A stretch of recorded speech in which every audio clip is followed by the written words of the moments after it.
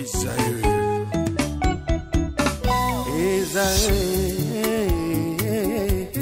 Vous recherchez une école de référence pour une double formation universitaire et professionnelle de qualité Voici l'opportunité à ne pas rater. L'École supérieure d'administration, d'économie, de journalisme et des métiers de l'audiovisuel ESAE vous offre des programmes d'enseignement en licence et en master orientés vers l'emploi qui font d'elle une référence à travers les filières de l'administration générale et territoriale, l'administration du travail et de la sécurité sociale, droit, diplomatie et relations internationales, administration hospitalière, universitaire et intendance, journalisme et métiers de l'audiovisuel, et toutes les filières des sciences de gestion. Une seule adresse www.esae.bj. Rendez-vous dès maintenant sur nos campus ESAE Bedromende au numéro 90 93 65 21 ou au numéro 98 98 14 00. Paracourt sur le numéro 52 46 12 12.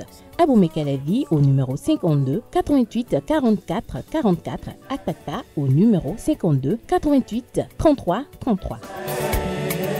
ESAE, l'excellence à un nom. Atifa la bonjour à nouveau? Bonjour Quelques remèdes naturels efficaces pour soulager l'angine. C'est bien cela, Abdelkader, amis internautes. Bonjour, ravi de vous retrouver ce mardi. Vous avez un mal de gorge et surtout des difficultés à avaler un repas ou un aliment. Eh bien, voici quelques astuces, sinon remèdes pour soulager votre mal. Première astuce, un gargarisme d'eau salée.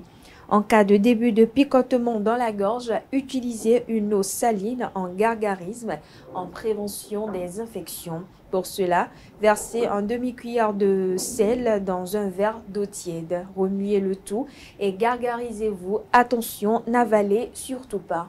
Deuxième astuce, du jus de citron avec du miel.